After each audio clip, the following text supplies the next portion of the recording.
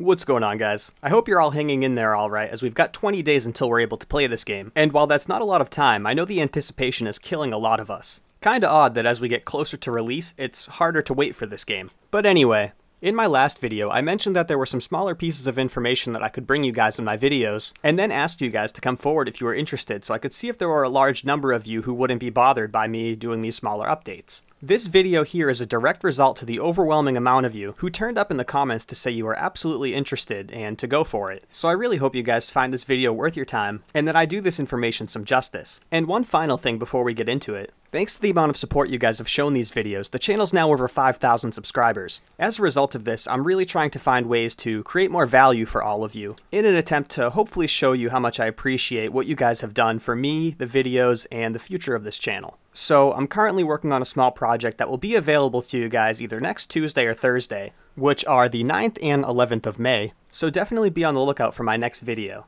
I'm aiming for Tuesday the 9th, which I really think I'll make, but in the event that something comes up and I can't do it, the 11th is definitely the latest date. Just please don't get your hopes up that it's this huge or crazy impactful thing. It's really more or less just a small gift from me to all of you. And for those of you who genuinely just don't care about it at all, I'm sorry for making you sit through that. Let's get into the video. As you can all tell from the title of the video, I decided to take a small spin on the updates, and instead of just doing a dedicated video on each update, I'm including a few into a single video, and putting a bit of focus onto how they impact one area of gameplay, which is infinite loops. And I am aware that some of you out there will not be familiar with the term infinite loops, so I'm just going to give a quick explanation. While infinite loops are present in other games, I'm going to discuss how they work in this one. An infinite loop in Friday the 13th is essentially when a counselor gets themselves set up in such a way that Jason has no choice but to chase them around in circles as they go around an object. Since the counselors generally have higher agility or maneuverability around these small obstacles like fences, they can run around them quicker than Jason can. Now, unless a Jason was on point with his shifts in the beta, some counselors were able to keep Jason occupied and chasing them around in circles for minutes at a time. This wasn't fun to play for Jason or the counselor. This wasn't fun to watch as a viewer of a stream or as a player who died or escaped and then was maybe spectating the last player who was running Jason in an infinite loop. And while this wasn't necessarily a huge problem in the beta, it's interesting to see that a lot of the updates made significantly help to mitigate this problem. Asymmetrical multiplayer games like this are usually plagued by an infinite loop problem, and I'm not going to name any directly, but I'm sure a lot of you out there know at least one or two big name games that have this problem and still haven't even solved it. So it's interesting to see how the developers of this game have sort of solved the issue before the game is even released. And they also definitely deserve credit for doing it in such a way that just doesn't even seem like what they're doing is intended to solve this problem. It just happens to do that.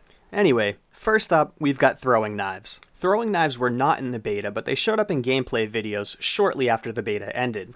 Here you can see some gameplay of Part 6 Jason, which you guys have all decided to call Hunter Jason, as he chases down Counselor Chad with the aid of his throwing knives. Definitely worth mentioning, and this was just recently revealed to us, is that Part 6 Jason is actually the only Jason out of the playable 7 to start with throwing knives available. This Jason starts with 4 throwing knives in his inventory, while none of the other Jasons actually start with throwing knives, and they have to rely on finding them throughout the map. We really don't know how difficult it's going to be to find knives, and if you'll find one at a time or a bunch at a time or just how that's going to work yet. But it's going to be cool to see how Hunter Jason starting with these knives impacts his overall gameplay and playstyle. The throwing knives definitely help counter all types of infinite loops that were present in this game. As you can see, when Chad was hit with the throwing knife, he stumbled and slowed down quite a bit, and it's also definitely safe to assume that he's losing health over time and will eventually lose his ability to run. Should he stop to heal himself with a first aid or go ahead and take too many hits and lose his ability to run, the infinite loop is pretty much over. Problem solved. Some of you may have also noticed the extremely fast recovery on his shift ability, which is an extreme help in countering an infinite loop. But for those of you that missed it, I'm going to play it back. Just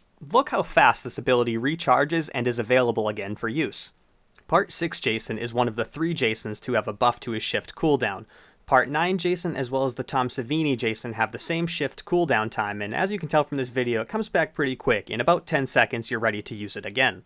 Next up, we have Jason's ability to break fences. I was really close to bringing you guys this information a while back, but then Jason's stats were revealed to us, and that seemed quite a bit more important but it's definitely got its place in this video. The two most common infinite loops that I came across in the beta were counselors running Jason around fences, or counselors running Jason around large couches in the interiors of the cabins. While the throwing knives help with both cases, you won't always have them in inventory, so the breakable fences are an extremely useful addition. Now, it's definitely worth mentioning that only Jason can break the fences. Counselors can't break them with their weapons, and the car can't break the fences by driving into them. Not all fences are breakable, but the common wooden fence that we saw all throughout Higgins Haven can be broken by a swing of Jason's weapon. Jason can break the individual sections of a fence that you see in this image here. Here's before he breaks it, and here's after he broke the fence. Now counselors have much less fence to work with, and now Jason doesn't have to spend a lot of time running circles around large sections of fence or waiting for his shift to recharge so he can grab a counselor. Wes Keltner, who is the founder of Gun Media, which is the team that's working with IllFonic to bring us this game, also mentioned that they may add a feature where if Jason is in rage mode, he can just walk through the sections of fence. Walking through the sections of fence with Rage is not a feature that will be in the game at launch, and we may or may not see this feature later on. We've first got to see how Jason breaking the sections of fence with his weapon changes the gameplay. Though it doesn't seem like this feature of Jason either smashing the fence with his weapon or raging through it will make a drastic change to gameplay. It just seems like a nice feature that sort of helps counter holdups in the gameplay, and also like something that should have just originally been in the game. So it's great to see that we'll have this at launch. This next change is, in my opinion, one of the biggest changes to the gameplay since beta overall. I'm talking about the addition of traps that Jason will have to use on counselors. All of the playable Jasons will be starting with traps in their inventory that they can use on counselors. They can't find them throughout the map and each Jason has a set amount of traps available to him. Part 2 Jason starts with the most, he has 6. Parts 3, 6, 8, and the Tom Savini Jason start with 4 traps. And finally, parts 7 and 9 Jason start with just 2 traps. While I definitely don't think the primary use of traps will be to help counter infinite loops, a Jason who finds themselves stuck chasing a counselor in an infinite loop can use traps that are in his inventory to help counter the problem, if they're available. The traps work similar to the bear traps that counselors have to use on Jason, but they're Jason's own version that he can use on the counselors. And given that infinite loops generally have a particular path that a counselor needs to follow, Jason can simply place one of his traps within that path and then the counselor can't go through it or they'll get trapped and most likely killed. Some players in the beta became extremely proficient at running Jason in infinite loops that involve their use of windows and cabins. Since Jason can't just climb through the windows himself, he would have to shift, morph, or run over to where a counselor exited or entered a window, and a lot of the time a counselor could get in or out of the cabin before he could do that, resulting in an infinite loop. Since Jason's traps can be placed in exterior locations like outside of a cabin, he can simply place it outside of the window or a window that's giving him trouble, and then really narrow down what a counselor is able to do to get away from him. And although I think traps should only be used as a last resort in solving an infinite loop, since they're really powerful when used elsewhere, it's great great that this will potentially be an option, and it will be extremely satisfying to trap a counselor that was annoying you with an infinite loop in your trap and then take them out. Now the knives, breakable fences, and traps aren't the only counters to infinite loops in this game, as a lot of the mechanics themselves help prevent the problem in the first place. You have abilities like shift and morph that when used properly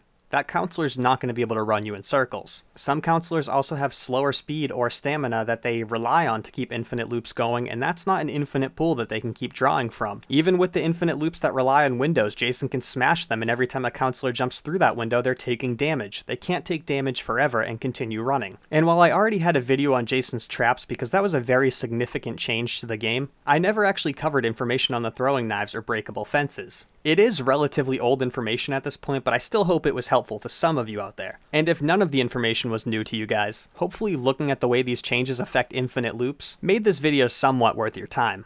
Well, that's it for this video. Definitely be on the lookout for next week's, and if you haven't already, be sure to like the video and subscribe for future Friday the 13th content, including daily uploads once the game is released. I'm going to leave you guys with the throwing knife clip from earlier, but this time it will have sound to it, so if you haven't seen it, you can watch it with some sound. It's really satisfying to see and hear Chad being run over by his fellow counselors. But until next time, guys, thank you for watching the video.